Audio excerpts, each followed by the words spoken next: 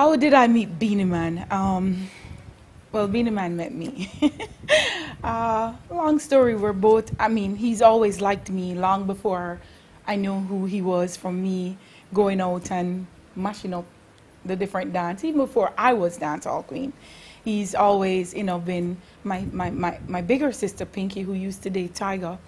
Hello there, of people. It's me, Tiger. So I was always in the music scene because of him. So Beenie Man and I, and I come before we became an item. How we became an item, oh wow, that's a long story. But um, I think we were belonging then. I was in my uptown circle, but wanted to be a part of dancehall. And my fiance at the time was, I was bored. and Beenie Man came along and brought me back to my age group and show me where the real excitement and fun was. Zaga Zaga sick. This magazine is sick. Cause when it comes to lyric, them money have it. When them write it and print it, people read it. This is Beenie Man, I'm talking about it. And you can see it on the DVD if you buy it. Or you go online and watch it. It's lyric magazine. Be clean. Boom.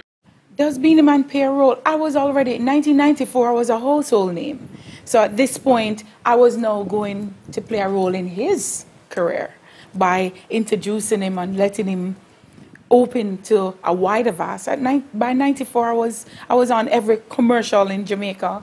I was on every radio station, every newspaper, every TV station. You couldn't, there is not a day pass that you wouldn't see me in the paper for something. So when Beenie Man came, it was just an additive to my life, for me now being very happy and completed that it was no dancehall and totally the queen, you know, a queen makes a king, not the reverse. I know what you like, it's right here, come home and get it. Mm, come on, come get it. Aye, aye, aye. And so, Lyric Digital Magazine, come on, come get it. Boom. What do I think of his marriage to D'Angel? Um, I knew it wasn't going to last because of a long whole history.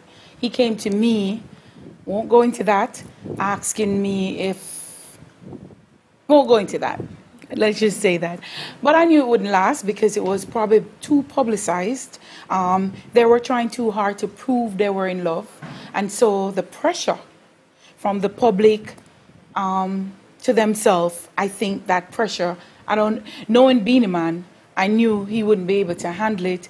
And I'm not sure of D'Angel, but I just know there was just too much of the public in, internalizing their private lives. And it came through, it didn't last. The reason for me and Beenie Man um, break up at that time, especially in 1992, the same thing that happened to him in 2000 and whatever they got married. We were not, um, there was no privacy.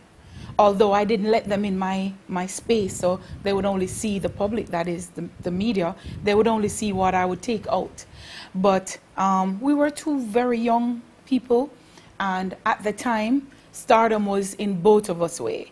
And I didn't want to hamper his, and I don't think he wanted to hamper mine. But the love for each other was always there.